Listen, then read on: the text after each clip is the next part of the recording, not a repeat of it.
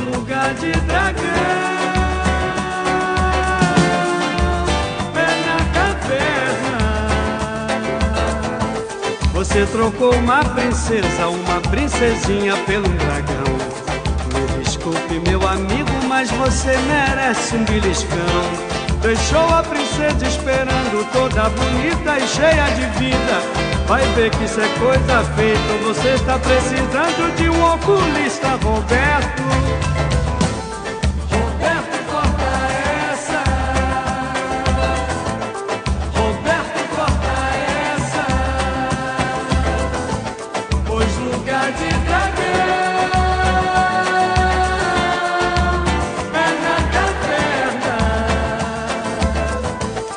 Você é meu amigo e como está, assim não pode ficar. Vou levar você numa rezadeira que é pra sua cabeça endireitar.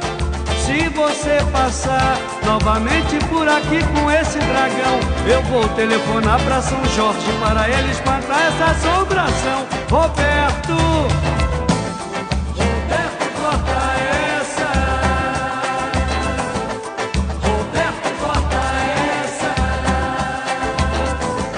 pois